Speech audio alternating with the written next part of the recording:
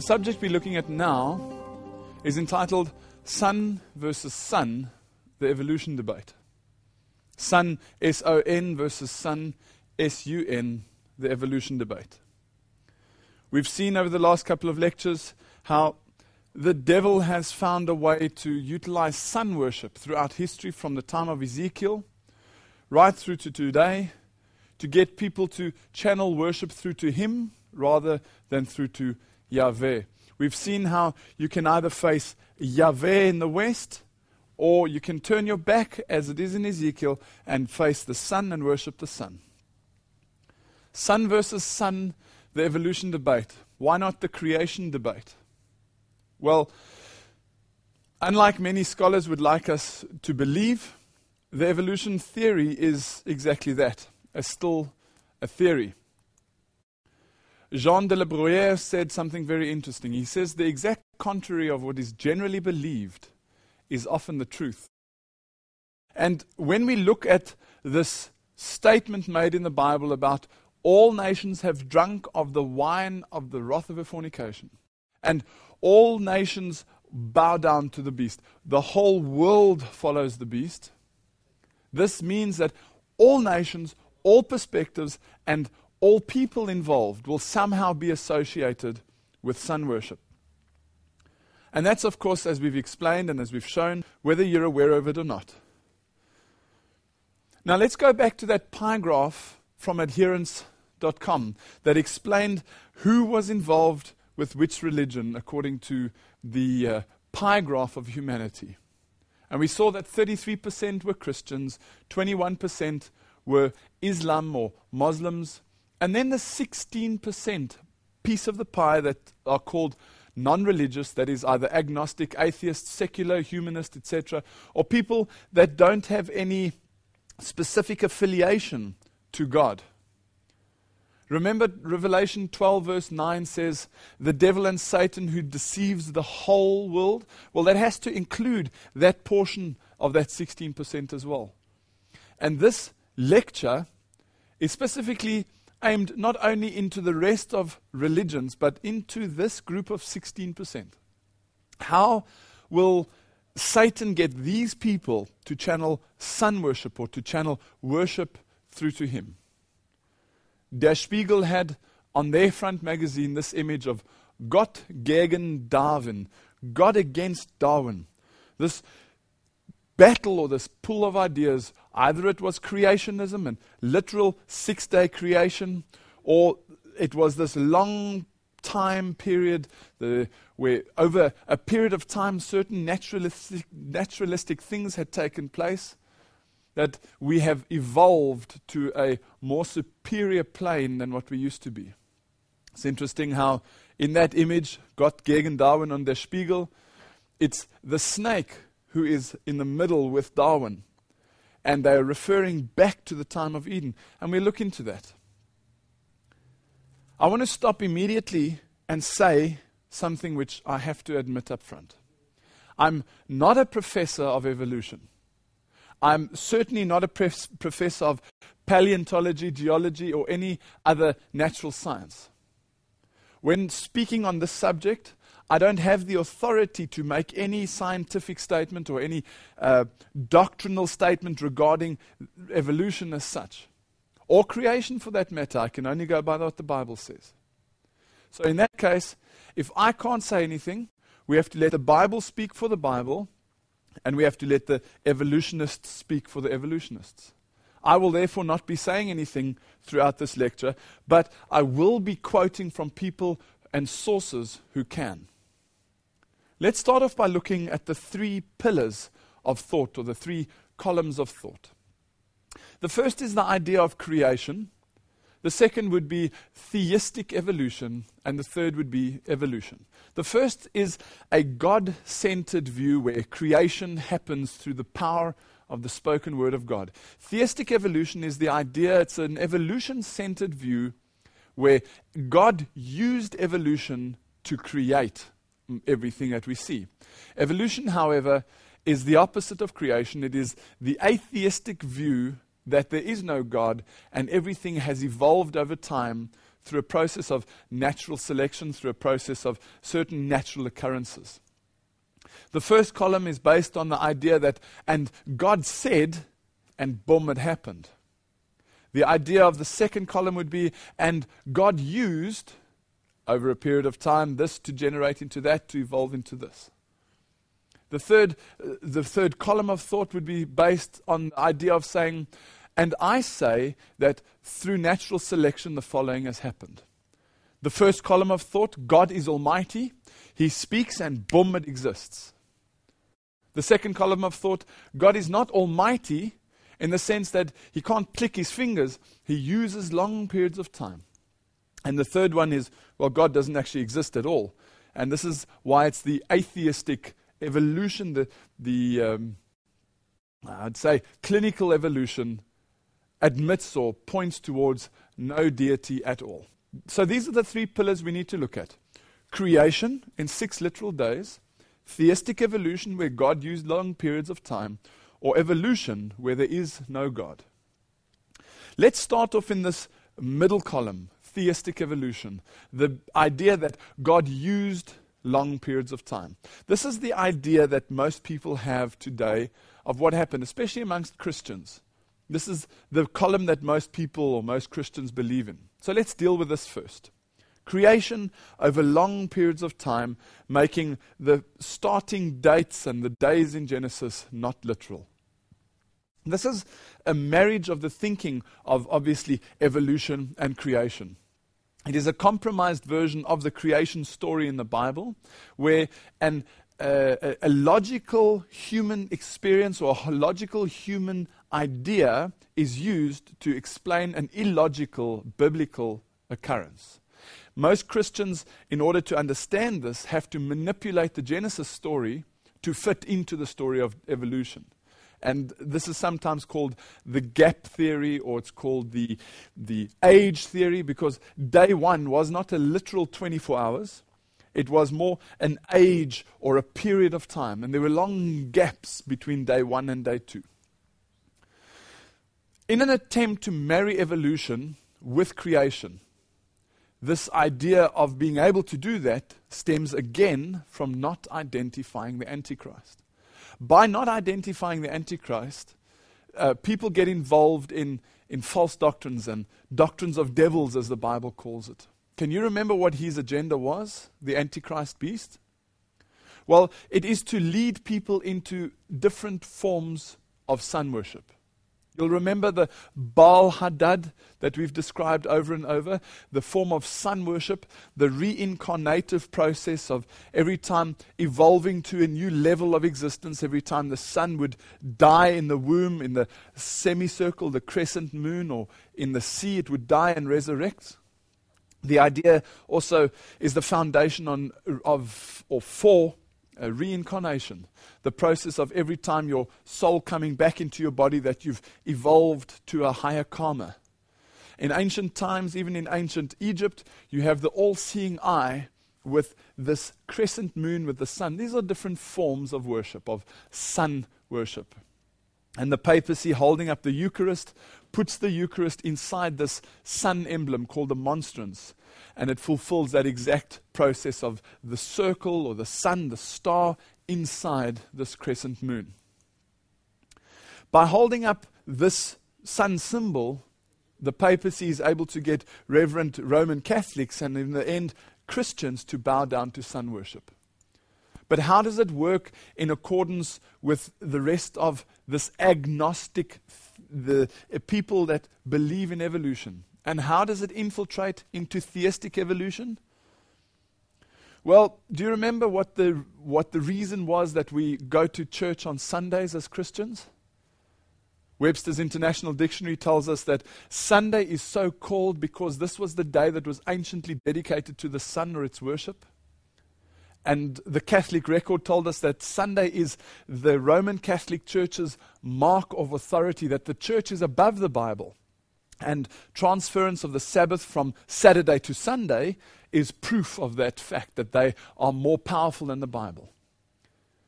Do you remember that we looked at you can either face east, or, or at least you can either face west and acknowledge Yahweh in the seat of the, of the Almighty, the throne of God, where he says in Ezekiel, Moreover, I gave them my Sabbaths to be a sign between me and them, that they might know that I am the Lord that sanctify them. Or you can turn your back on the throne of God. You can face east. You can get, be involved in sun worship as a Christian now and say, well, Sunday is our mark of authority, and this is the proof that we're bowing down to the authority and the power of the Roman Catholic system. Clive Cookson said in the Financial Times in December 23 or the 23rd of December 2005, he said, The Vatican, which often appeared ambivalent in the past, has recently gone out of its way to affirm the compatibility of the evolutionary science with the Bible. Here's a statement in the Financial Times that the Vatican is somehow trying to see if they can fit evolution into the Genesis story. Again, from the Sunday Times, the graphic that says, Genesis is nonsense. The Catholic Church has officially debunked a literal interpretation of the creation according to Genesis as utter nonsense. Time magazine said, Vatican thinking evolves. This was the moment when John Paul claimed to accept the idea that evolution was a scientific process that had been proven and that was a fulfillment of the Genesis story and that Genesis was nonsense. A bit later in time, Pope Benedict has said, well, no, it's not really true. Uh, evolution isn't fact, creation is true, but however, by saying that, he's made the Christians feel comfortable by saying evolution. Well, we're going to have another look at this. But if you read carefully between the lines, what he's doing is he's saying neither is creation in its six day, seven day format accurate, neither is evolution in its atheistic, non godlike appearance accurate. This idea of combining the two in this theistic evolution, that is true. And the USA Today explained on the 9th of June 2006, Staff and Wire reports that the Pope's Evolution Seminar is to be published. This is in 2006. Catholic theologians see no contradiction between their belief in the divine creation and the scientific theory of evolution. The coming together of the evolution thinking with the creation thinking into this theistic evolution. There is no argument between creation and evolution. This is what is being brought across. Kenneth Miller, he wrote this interesting book, Finding Darwin's God. He asked the question well, who is Darwin's God? Is there a God of creation? Is there some theistic evolution? He says Catholic theology has no fight with Darwin.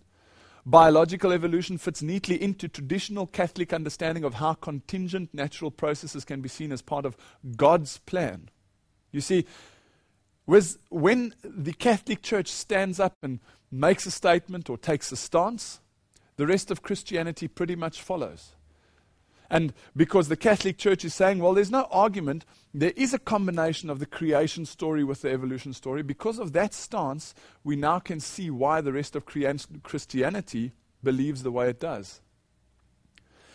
This graphic from Catholic Apologetics International shows a very interesting, or hints towards a very interesting sight. Can you see what's hiding behind the top of the steeple? Well, it reads as the Catechism says, scientific studies of the age of the, and development of the cosmos, the development of life forms, and the appearance of man invite us to uh, even greater admiration for the greatness of the Creator. You see, this is when this lie starts to become interpreted into something which is even more deceptive. There's this argument that somehow evolution proves the greatness of our Creator, that it gives a clearer picture, that the evolutionary process, this theistic evolution, gives a clearer pra- uh, um, idea for us of the power that is God. Somehow, over time, being able to see how God has turned and changed things from one type to the other type allows us to understand the power of God. Or even be more impressed by it, that is. But I'd like to ask you think about this for a moment. We have a production plant for a certain vehicle, call it a Mercedes Benz. And inside or in, into the one side of this production plant come a whole lot of items. You have an engine, you have a couple of wheels, you have a rim, you have a hubcap, you have a couple of seats. They're all being pulled into the production plant on the one side. And if you were to look inside the production plant, as this uh, belt moved along, so things would be added and added and added and added and added. And then out the other side would eventually come a Mercedes Benz. Now, that's a pretty impressive thing to do to take various separate items and over a period of time create a Mercedes Benz. My question to you is which one's more impressive? A production line where you can see what's going in, you can see what's happening, and you can see what's coming out over a period of time? Or somebody walking in and saying, Watch this. Bah! Boom! You have a Mercedes. Which is more impressive, this uh, production line facility or somebody that says, boom, Mercedes, boom, Mercedes, boom, Mercedes? Don't ever let anybody tell you it's more impressive to look in evolution to see the greatness of God. That is a satanic lie. That is trying to pull away the true power of God being able to say, let the following happen, and boom, it is done. So, who is the creator of creation? Many people think, well, God created. Well, who's the creator of creation? That's always an interesting question. Let's look in John 1, verse 1 to 3, and verse 14. In the beginning was the Word, and the Word was with God, and the Word was God. All things were made by Him. John 1, verse 14 says, And the Word was made flesh and dwelt amongst us. Ephesians 3, verse 9 says, To make all men see God who created all things, how? By Jesus Christ. Who's the creator of creation? Jesus Christ. Interestingly enough, in John 8, verse 12, he says, I am the light of the world. He repeats this in John 6:33 it says and he being Jesus Christ giveth life unto the world. So here Jesus Christ says I am the light of the world, and I, He, giveth life. He is the creative power, He is the light of creation. Question two Who is the creator of evolution? Well, I can't tell you. Just like the Bible told us who the creation, the God of creation was, so we have to ask the evolutionists who the God of evolution is. This is from a Natural History Museum in the UK. It says, Where did life begin? Scientists think that the likely energy source for the reactions that led to the creation of life was the sun. This implies, or implies at least, that organisms originated in surface waters and that the earliest life forms relied on photosynthesis, whereby energy from the sun converts atmospheric carbon dioxide into sugars and carbohydrates, releasing oxygen. Let's read another site. Let's read another example. This is from Freeman Dyson, Science and Theology News. He says, The earth provided chemical and environmental diversity for life to explore. The sun, however, provided physical stability, a steady input of energy on which life could rely. The combination of the earth's variability with the sun's constancy provided the conditions in which life could evolve and prosper. So, who is the life giver or the creator of evolution? It's the sun. And if you go now back to the critical element of the Old Testament and you have a look at the sanctuary, there were two options. Either you faced the Son, S O N, in the west and you bowed down to the Shekinah glory, Yahweh, the throne of God, or you faced the sun, S U N, and you bowed down with your back towards the Shekinah glory and you bowed down towards the east. With evolution, it's exactly the same. The Bible says, I am the light of the world, I giveth life unto the world. That is the light that giveth life. Here's another belief where you can turn your back on that one and you can face this way and you can say, No, no, no, no. I am the life. I am the light that giveth life. I am the life force that fulfills evolution. It's the same fight as it was in the Old Testament.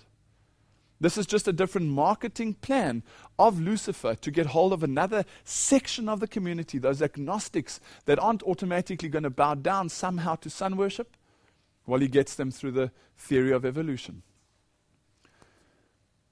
I'm not quite sure how to understand this theological stance taken by the Catholic Church that there's no difference between the Genesis story and evolution, that theistic evolution is possible, because theistic evolution contradicts the Bible.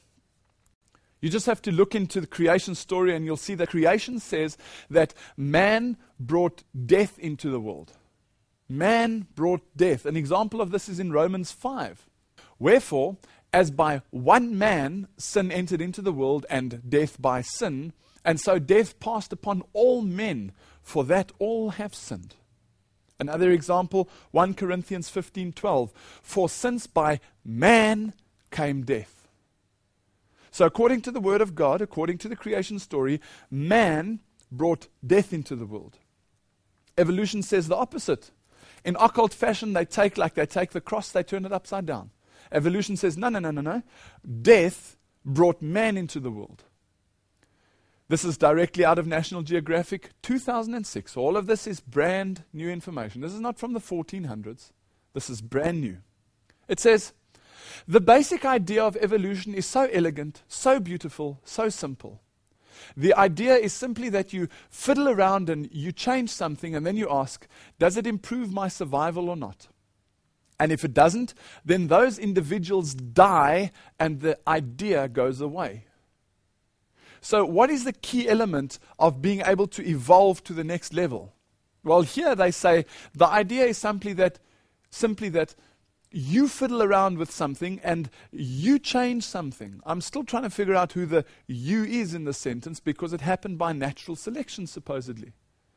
But anyway, even if that's the case and we accept this contradiction, this fiddling around has to improve the survival, and if it doesn't, that person dies, or that being dies, the plant dies, and therefore it's death that will bring about the evolution of everything on earth, including mankind. So the Bible says man brought death in. Evolution says, no, no, no, no. Turn your back on that, turn around, face another truth.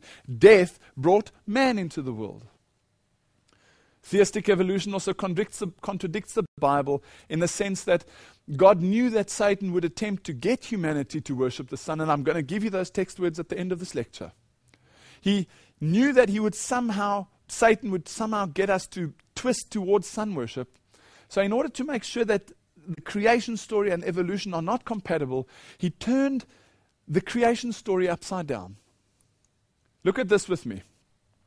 In Genesis 1, verse 3 to 5, it says, And God said, Let there be light, and there was light. Boom, a Mercedes. And God said, or, and God called the light day, and the darkness he called night. And the evening and the morning were the first day. Question Which light was this that God created? He says, Let there be light, and there was light. Which light was this? Was this the sun? No, the sun was created later. Can you remember where? Well, on the third day, God said, Let the earth bring forth grass, the herb yielding seed, and the fruit tree yielding fruit. And the evening and the morning were the third day. And then what happened on the fourth day? God, great, God made two great lights one to rule over the day and one to rule over the night. And that was the fourth day. So, God, being the light of the world, being the energy that gives life to creation, he takes his power and he hands a portion of his power over to the sun. And on the fourth day only, he says, Boom, here, you look after that portion of my responsibility. And yet, throughout history, people have bowed down in worshipful reverence to the sun, not realizing that the sun is only fulfilling that much of Jesus' ultimate power. Not only did he give a portion of his responsibility over to the sun, without the sun, plants and plant life and animal life cannot survive. And that's why, where evolution says, no, no, no, no, the plants came after the sun, the sun was there, and out of the evolutionary power given from the sun, plants have evolved. Here the Lord says, no, I create plants on the third day, and I'll create the sun on the fourth day to prove to you that uh, evolution and, and uh, creation are not, are not compatible. They contradict one another. You see, according to the theory of evolution, land animals developed prior to sea animals.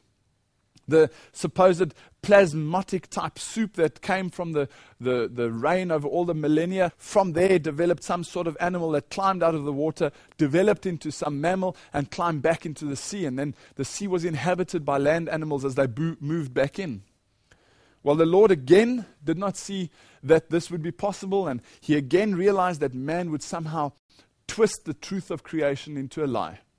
And he he, he turned this whole thing upside down so that if you do any diligent study on it, you'll realize that these two cannot be married.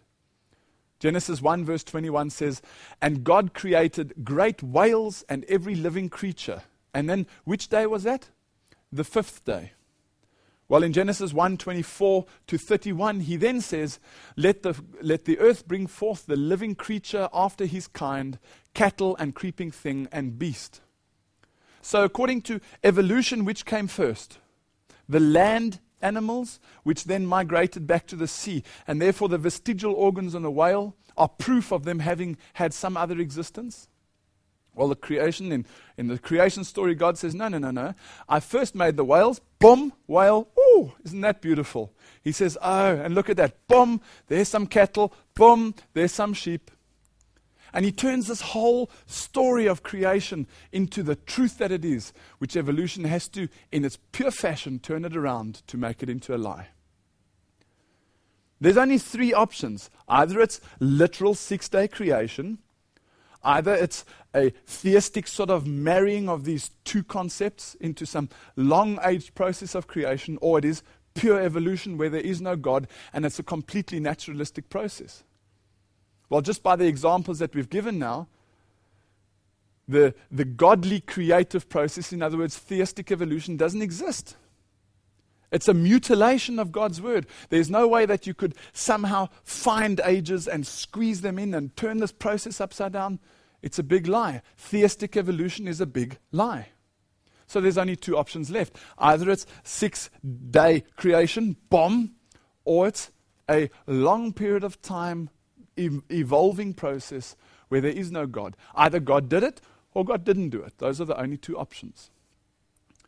So, where this one is instant, boom, there's your Mercedes, and boom, there's your cow, and boom, there's your whale. This one with this prolonged atheistic evolution, this one has to be questioned. So let's start off and say, well, let's have a look at this argument in its totality. Is the argument really about evolution or not? Is the argument really about creation or not? Is there even worth the, the energy of having a debate? Well, if you clinically look at it, have a look at this for a moment. You'll see that the fight is not evolution over long periods of time versus creation over long periods of time. The fight is over creation in an instant, boom, versus evolution over long periods of time. That's the real fight. The fight is not about creation evolution. The fight is about what? The fight is about time. Either it was this or it was that. That's the real fight. Who's the God of time? Can you remember? Who was the seventh day named after according to the Saxon gods? It was the God of time. The argument between evolution and creation has got nothing to do with creation or evolution. It's got to do with did it happen boom or did it happen like that? Where did the, the theory of ev- evolution originate? Do you have any idea? Well, again, we've got to go back into the Bible and have a look. It all starts as it showed on Der Spiegel, on that magazine, with Gott gegen Darwin, with Adam and Eve, with Darwin in the middle and the snake around the tree. That's where it started. Genesis 3, verses 1 to 5. It says the following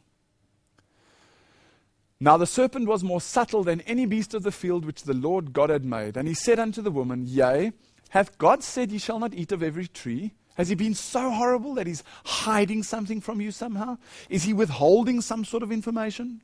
Has God really said that? It continues. And the serpent said unto the woman, For ye shall not surely die, ye shall become as gods. This is where Satan puts his own theology on the table and he says, No, no, no. What happens when you die is you don't really die. You have this element that goes somewhere. And then through a process, you are, are moving towards Godhood and even possibly the Godhead. This graphic shows, and this is from an evolutionary uh, perspective, from the Big Bang, which is now um, on this graphic is estimated to be about 4.6 billion years ago. From there, time has sort of spiraled up to where we are today. Through the Cambrian period, and you've got the Mississippian period, the Pennsylvanian period, the Triassic period, the Jurassic period. This is the period that inspired this Jurassic Park that we see on TV and in the movie theaters around the Cretaceous period, the Mesozoic era, 65 million years, 57 million years, 35 million years, and down, down, down, down, down to where we are today. Can you see how this spiral has taken us from being nothing, in other words, the Big Bang, where they tell you that everything in the universe was compressed into a dot that is smaller than the dot on a page? So basically, nothing exploded and created everything. And over time, it's spiraled through time and evolved to where we are today. Well, this is the theory that is taught by Freemasonry. Manly Palmer Hall, who's a 33rd degree Freemason, he says, Man is a God in the making. This is from his book, The Lost Keys of Freemasonry. Remember that J.D. Buck explained the same thing. He says it is far import- more important that men should strive to become Christ than they should believe that Jesus was Christ. This idea that you can evolve to a higher plane either through the new age thinking of evolving to a higher karma or that through process of reincarnation or somehow God is twisting up this, this evolutionary heat that you are growing to something greater. This comes from the Jesuit thinking. And this is displayed on the Vatican's own website. Go there. There's the, the entire URL. Go have a look for yourself. Vatican.va. Under 460 it says, for the Son of God became man so that we might become God. Wanting to make us sharers in his divinity, he assumed our nature so that he made man might make men gods.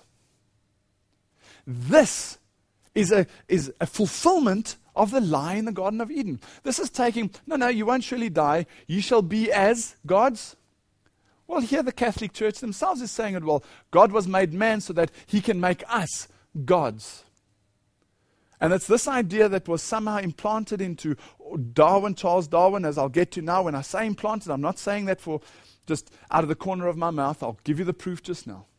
Charles Darwin, he wrote this fantastic book, this book, The Origin of Species by Means of Natural Selection. And I cover up the bottom portion of it for a reason. I'll show you what it says a bit later.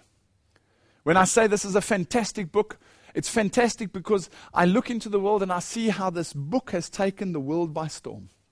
Darwin said from his autobiography in the subheading of religious beliefs, he said the following During these two years, March 1837 to January 1839, I was led to think much about religion. I had gradually come by this time to see the Old Testament from its manifestly false history of the world with the Tower of Babel, the rainbow as a sign, etc., etc and was no more to be trusted than the beliefs of any barbarian. Thus, belief cre- crept over me at a very slow rate, but was at last complete. The rate was so slow, I felt no distress.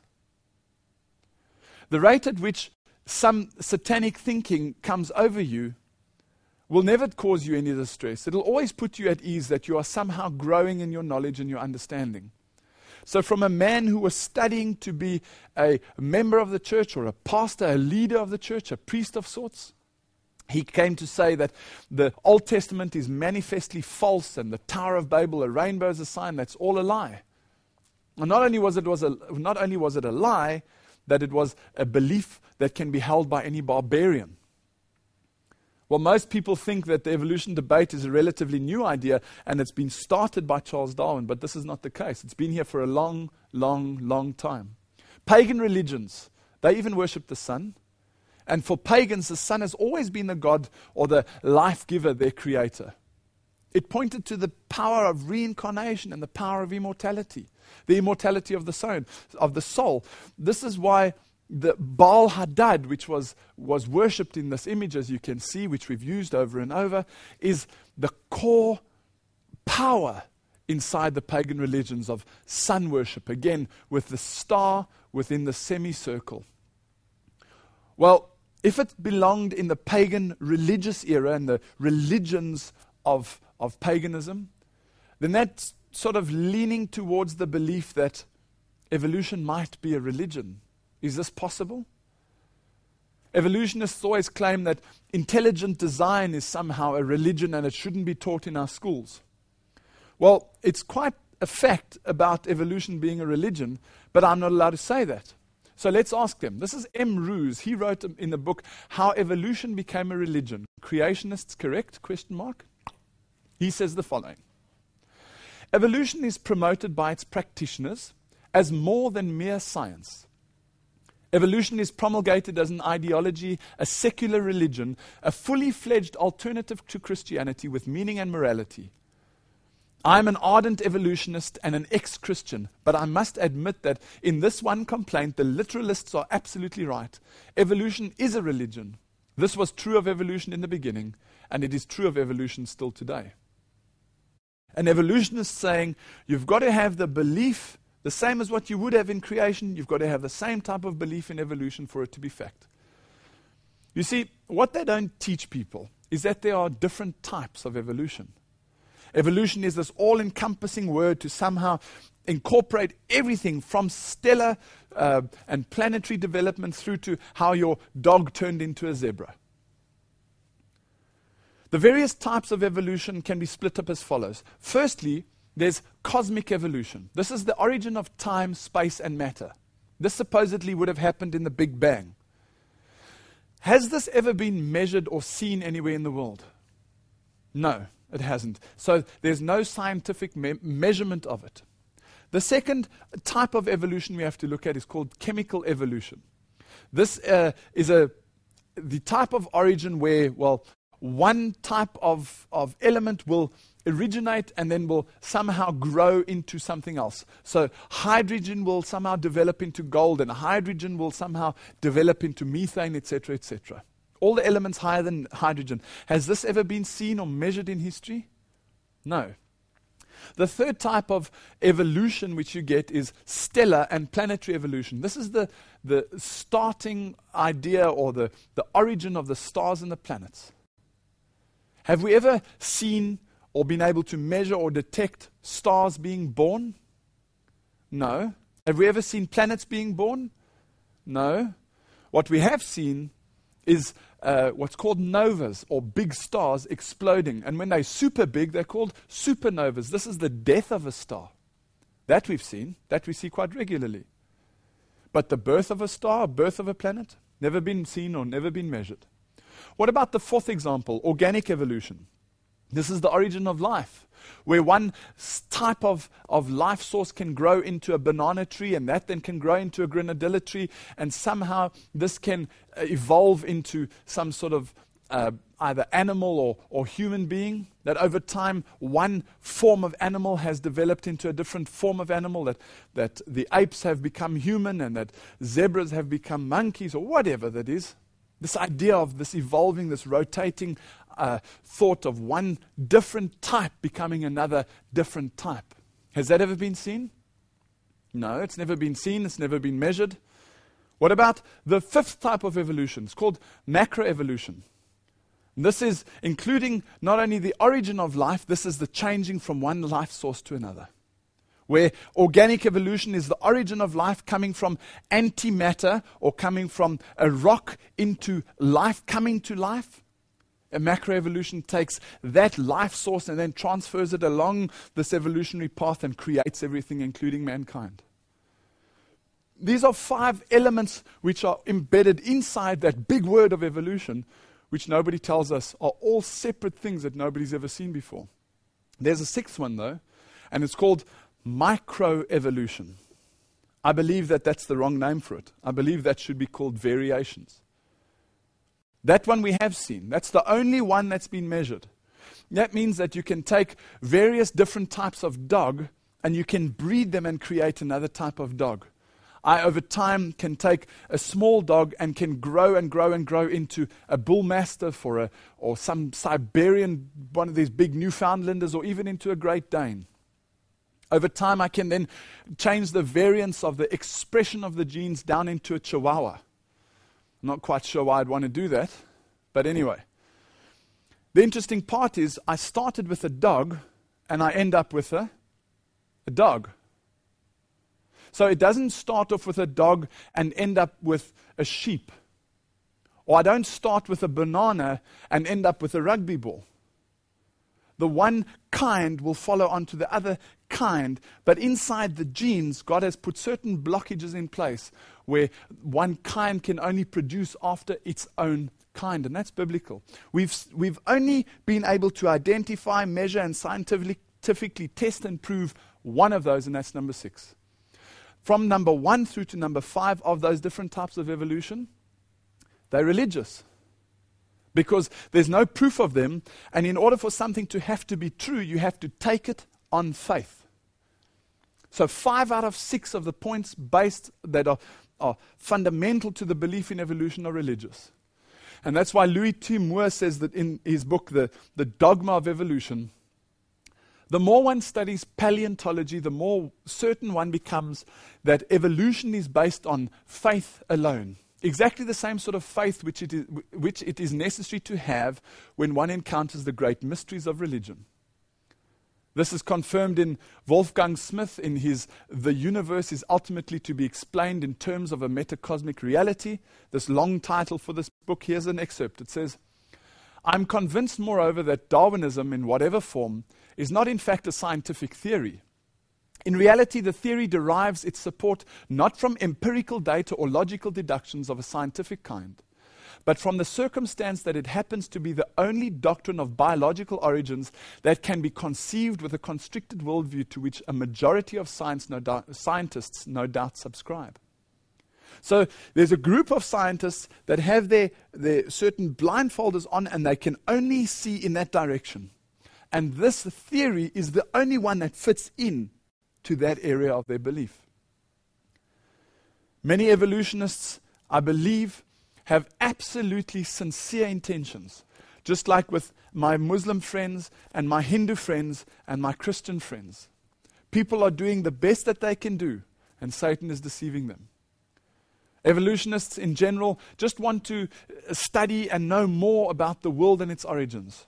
Satan doesn't care about what you care for and what you don't care for. He, he doesn't he doesn't care what you think. He's deceiving the whole world into bowing down into sun worship. And just like uh, Helena Petrovna Blavatsky said, Lucifer is the Logos, the serpent, and the Savior. Lucifer represents life, thought, progress, civilization, liberty, and independence. This is from her book, The Secret Doctrine. She also said, It is Satan who is the God of our planet and the only God. And Lucifer, now listen, is divine and terrestrial light.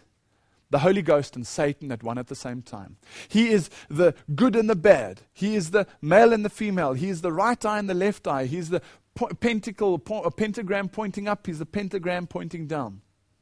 She continues, she says in The Secret Doctrine on page 415 once that the key to Genesis, that's in Genesis in the Bible, once that the key to Genesis is in our hands, it is the scientific and symbolical Kabbalah which unveils the secret. The great serpent of the Garden of Eden and the Lord God are identical. And so are Jehovah and Cain one. That Cain, who is referred to in theology as the murderer and the liar to God, these short and seemingly contradictory statements are in the Old Testament, as, as laid out in the Old Testament, are the secret doctrine. So, where uh, uh, Albert Pike, at the head of Freemasonry, says Lucifer is our God.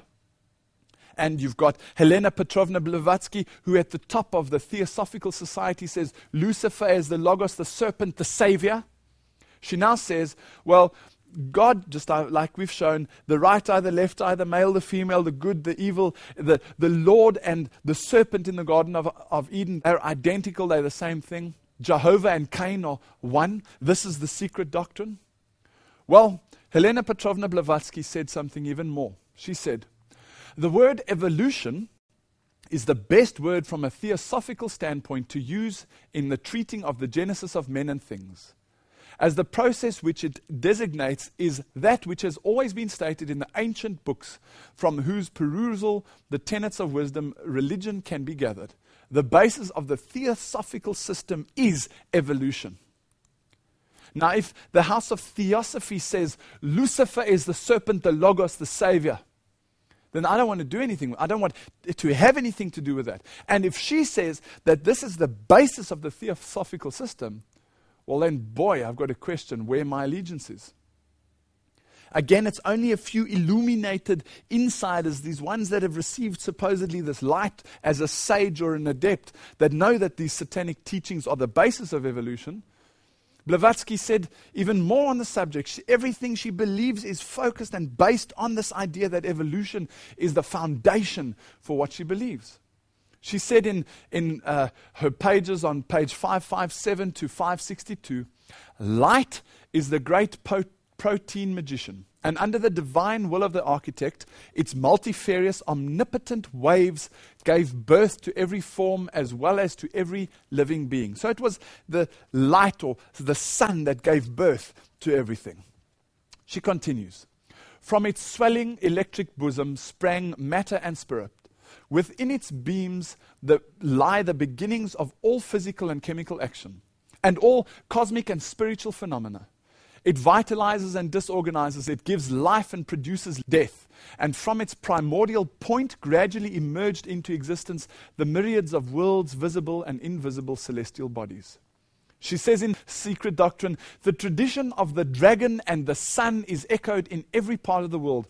There was a time when the four parts of the world were covered with temples sacred to the sun and to the dragon, but the cult is now preserved mostly in China and the Buddhist countries.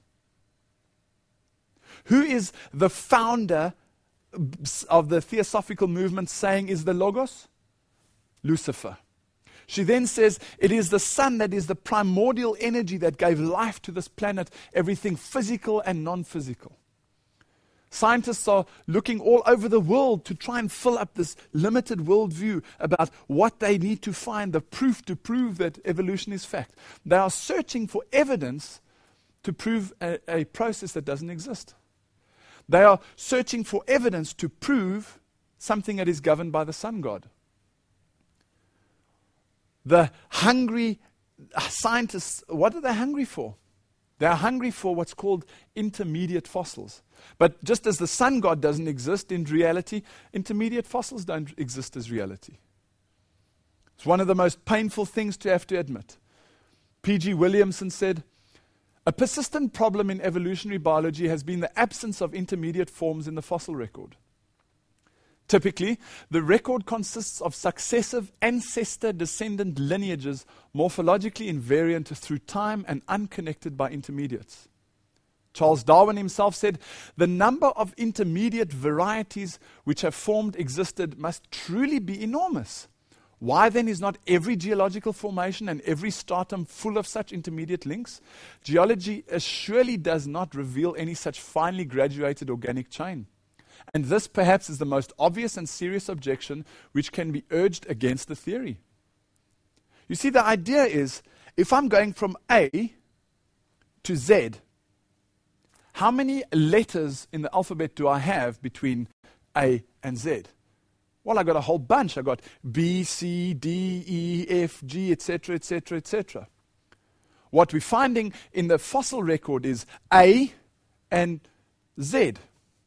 So if there are literally millions and millions and millions of A's and Z's, in relation to A versus Z and all the bits in between, how many bits in between should there be and how many n bits should there be? There should be many, many, many more intermediates than what there are actual fossils. But Darwin himself says this is probably the biggest problem we have. We can't find this multitude that should be in the geological strata. We cannot find it. Jeffrey H. Schwartz also said given that evolution, according to Darwin, was in a continual state of motion, it followed logically that the, rec- the, fossil record should be rife with examples of transitional forms leading from one less to more evolved. Instead of filling the gaps in the fossil record with so called missing links, most paleontologists found themselves facing a situation in which there were only gaps in the fossil record with no evidence of transformational intermediates between documented fossil species. And then Stephen Jay Gould, who is one of the most celebrated agnostic or, or uh, atheistic evolutionists of all time, he was an American paleontologist. He was an evolutionary biologist, and he was a historian of science. He was also one of the most influential and widely read writers of popular science of his generation, leading many commentators to call him America's unofficial evolutionary laureate. He said the following Interestingly enough, two years after Stephen Gould, it is written about him that, interestingly enough, two years after Stephen Gould and Niles Eldredge admitted in 1980 that they couldn't find any evidence of intermediate fossils to support the evolutionary theory, the Pontifical Academy of Science said that evidence for evolution was beyond dispute. Be- beyond dispute? Well, I dispute, I dispute that it's beyond dispute. Nothing's been proven. They haven't found anything. The Australian molecular biologist said the evolutionary theory is still as it was in Darwin's time, and this is written in 1986. A highly speculative hypothesis, entirely without directional factual support, and very far from that self evident axiom some of its more aggressive advocates would have us believe. There's this idea that evolution is fact. No, it's called the evolution theory for a reason. It is still a theory. And just like you have to have faith to believe in a six, literal six day creation, boom, that exists, boom, that exists, boom, that exists. There's no proof to say that evolution is fact. This sometimes causes tremendous embarrassment because these people want to believe that something isn't true, but they can't find the proof for it. I'll be covering more about this in part two.